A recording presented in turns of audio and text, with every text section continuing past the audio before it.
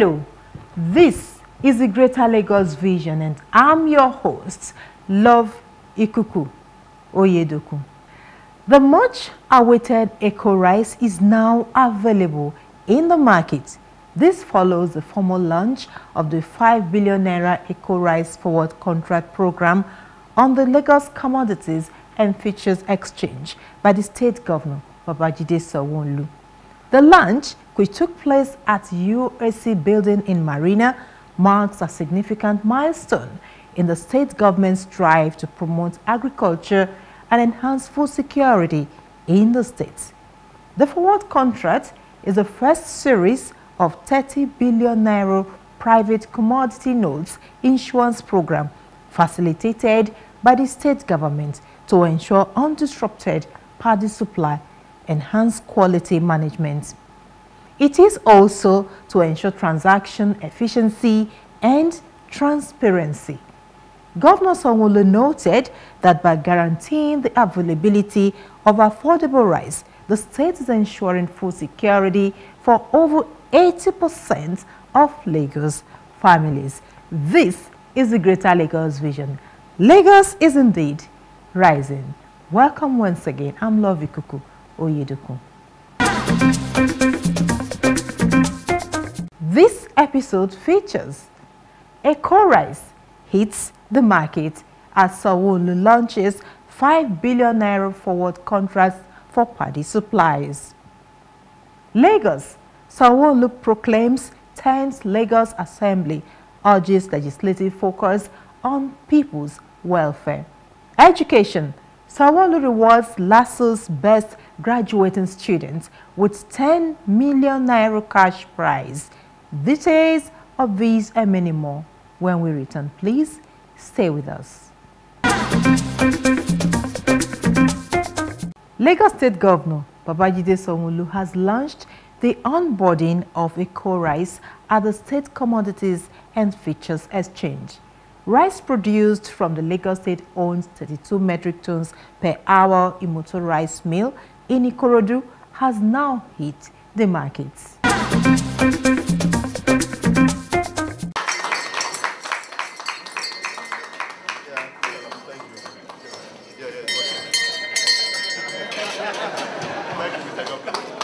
The launch is the first series of the 30 billion naira Eko Rice contract programs on the Lagos Commodities and Futures Exchange, which will supply 15,000 metric tons of undisrupted paddy to the mill and to be milled and sold to the public through subscribers.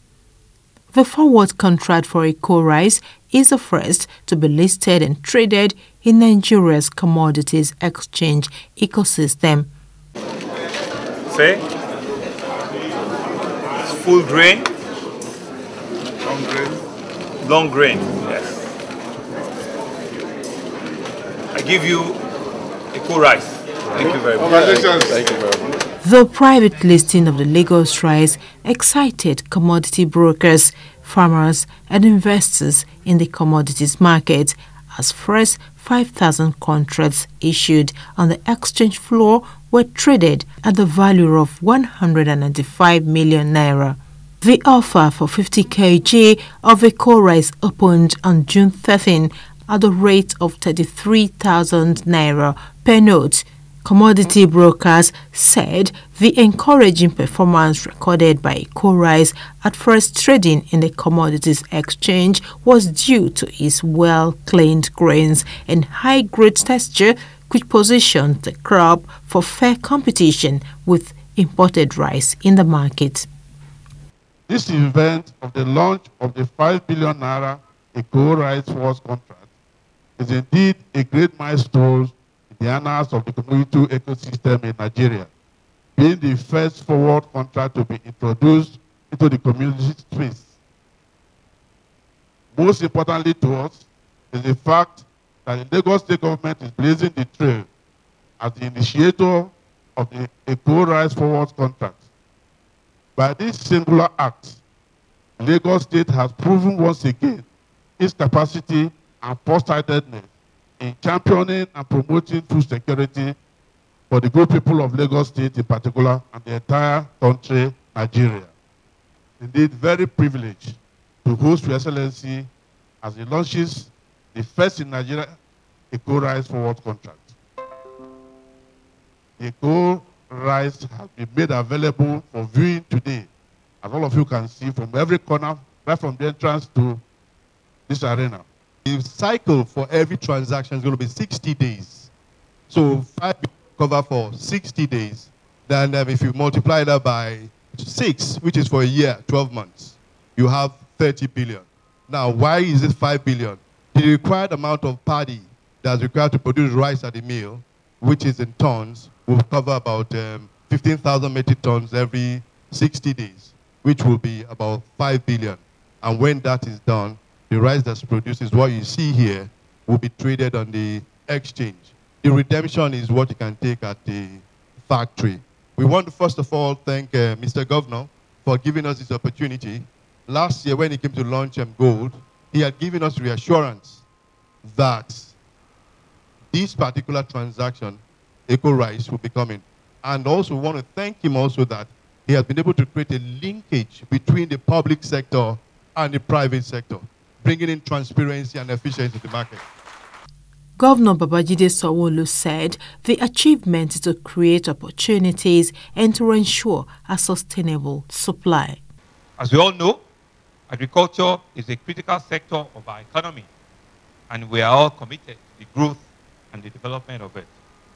Our goal is to make Lagos a hub for agricultural production and processing in the country. And when we say a hub, we mean it by every facet of it. We believe that agriculture has the potential to create jobs, to create wealth, and to reduce poverty and enhance food security in our country. We've kept, we've kept, all of us have kept saying that we need to feed ourselves. We need to grow what we eat, and we need to eat what we grow. And we cannot but make Lagos as an example for that.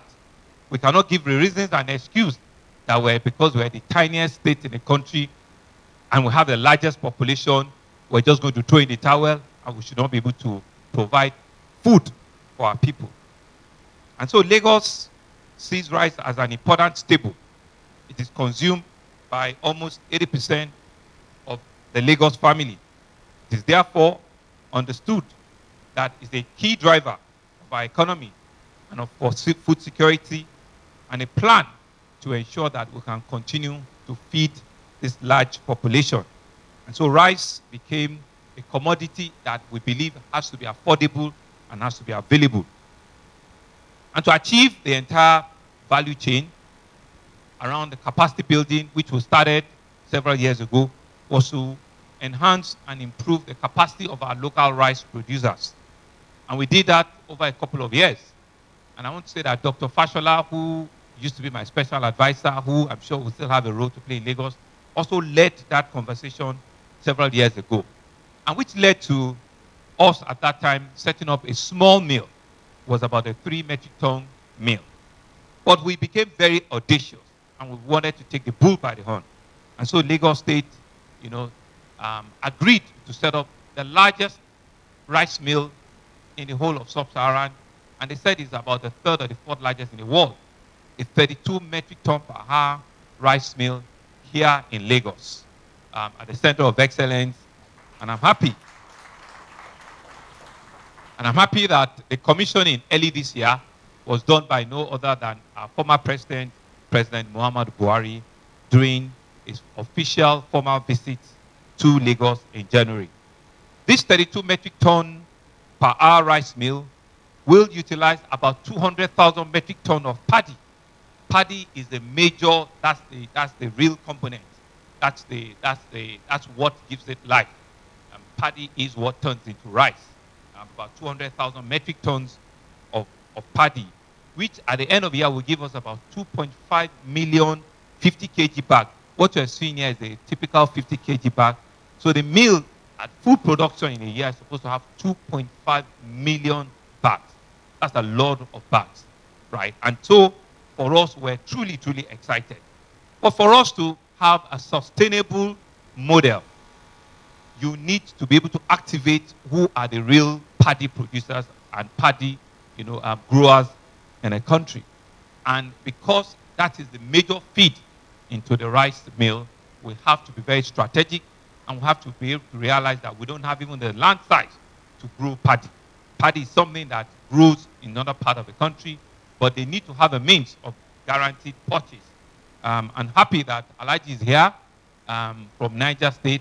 I've also been given, when I say I, the state, we've also been given about 100,000 hectares of land that the Niger State governor says they will give us. So we, we will walk around, you know, how we'll ensure that we strategically identify in Niger, in Kwara, in Nasarawa, big farms that we also can um, partake in because that is the mainstay of rice production, is paddy production. And so this 5 billion series of a 30 billion Eko rice contract program is to ensure that a sustainable supply of rice paddy for smooth running of the rice mill. And it's a PPP program that will provide a platform for farmers, for processors, and for traders to buy and sell rice, to buy and sell rice contract at a fair price. This program is also to provide a guarantee for quality and for quantity of rice to be produced. I think everybody has come out to say that Eko Rice will compete with any of the best grades of rice that comes out from any mill in the world. And we believe that Lagosians deserve the very, very best at all times.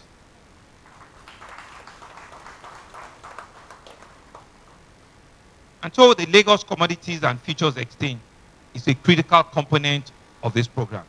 It is a platform that provides a transparent and an efficient market for trading of agricultural commodities and derivatives.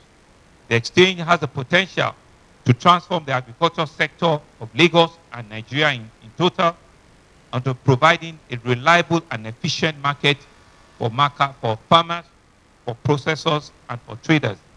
And so on your behalf, I want to congratulate and thank the, the Commodity Exchange again for leading in this conversation.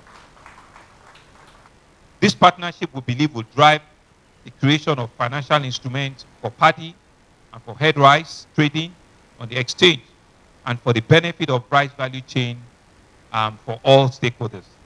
Under this agreement, the Lagos Commodities and Futures Exchange will supply about 15,000 metric tons of paddy on a three-month cycle, like the MD had said, and will be milled and then sold to the public through a subscription. Today's bell ringing ceremony is to herald the listing of the 30 billion rice paddy contract for Lagos Rice Mill Imota, which will be traded on the floors of the Lagos Commodities and Futures Exchange. This will heighten the opportunity available for the investing public to go into rice and the entire value chain for the agricultural sector, to draw the attention of the local and international investors into the Lagos rice mill and deepen our capital markets and be able to create you know, an ambience where all of the features and all of the opportunities in the market and the ecosystem are well strengthened. Participating partners commended the state government for the giant steps taken in collaborating with private sectors in ensuring adequate food security in the state. We are very happy to be part of this project and um, you know we when when the governor um, inaugurated the Imota rice mill we were part of those who supplied the first rice paddy um, this is outside the party funded by the Lagos state government. In fact, I'm sure John Bent was the first private sector that landed the first set of rice paddy. And we did not, we not just supply the rice paddy, we are back here, not for the rice paddy, but for the rice itself. And I'm here with my people. Um, we have a mandate to trade nothing less than 5,000 contracts before we leave here today. So it's already, it's already a success. There were 13 aggregate commodities that were traded on the LCFE, and these are paddy rice, shea butter, gold, cocoa, cassava, soybeans, among others. Lagos State Governor Babajide Sanwo-Olu has proclaimed the first session of the 10th House of Assembly following the inauguration of 40 members-elect of the state legislatures by the clerk. The ceremony, Sanwo-Olu said, symbolized the continuity of the state's democratic journey. He noted that the role of legislature as indispensable pillar of democracy was vital in exercising the power of the people in a system of governance. Miss Aminat Yusuf, the best graduating student from Lagos State University, LASU, was recently rewarded with a cash prize of 5 million naira for her brilliance by Governor Babajide Sanwo-Olu. The governor also announced an additional prize of 5 million from the state government to reward the 23-year-old fresh law graduates' unprecedented feat. Miss Aminat Yusuf graduated from the Lagos State University LASU as the institution's best student of all time. Aminat Yusuf from the Department of Law graduated with cumulative grade point average of 5.0. Speaking during the ceremony, Lagos State Governor Babajide Sanwo-Olu announced a reward of 10 million naira for the overall best graduating student of the 2021-2022 academic session, Aminat Yusuf. He commended Lagos State University for being steadfast in its commitment to providing high-quality graduates and skilled manpower to meet socio-economic needs of the state and the country in general. While recounting the institution's achievements, Sanwo-Olu assured of more support for the university towards sustaining the standards and improving his academic profile in order to compete on a global stage.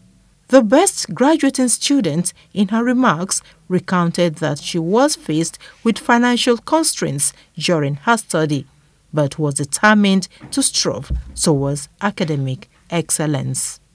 LASU Vice Chancellor Professor Olatunji Bello described the occasion as symbolic.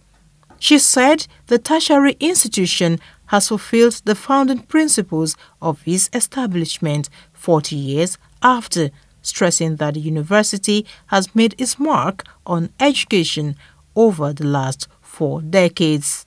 Today's ceremony does not just wrap up the 26th convocation, it is also a symbolic occasion of fulfillment and pride for the students who have been found worthy, both in character and learning, to be conferred with the highest academic degree of this great university.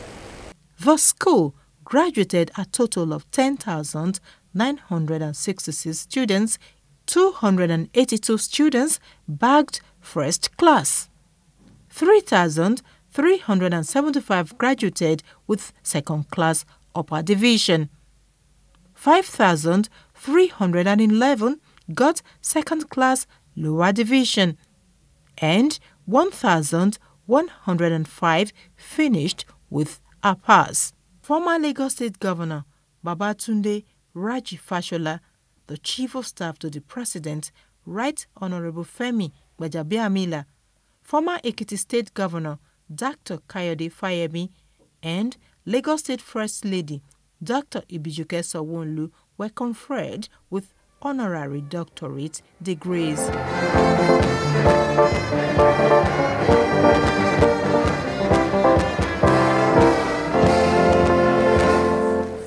Lagos State University, this is to certify that His Excellency Mr. Babatunde Raji Fashola, Senior Advocate of Nigeria, Commander of the Order of the Niger, under the authority of the Senate is hereby conferred the Doctor of Humane Letters, Urban and Rural Community Development and Youth Empowerment Honoris Causa, today, 22nd day of June 2023. Congratulations. Elegushi of Ikate land, Oba Saheed Elegushi, became the first alumnus of the university to be conferred with honorary doctorate degree alongside seven eminent Nigerians. Lagos State Governor Babajide Sanwo-Olu has restated his administration's commitment to support the Nigeria Immigration Service in its efforts to ease passport processing, visa issuance, and ensure proper documentation of migrants. Governor Babajide Sanwo-Olu stated this when the leadership of the Nigerian Immigration Service, led by his acting Comptroller General, Caroline Adepoju, paid him a courtesy visit at the Lagos House, Ikeja.